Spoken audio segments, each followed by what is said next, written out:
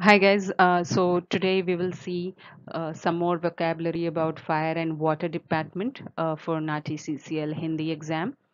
These are more uh, like uh, the constantly or frequently used words that come up in dialogues and uh, let us begin without any further ado.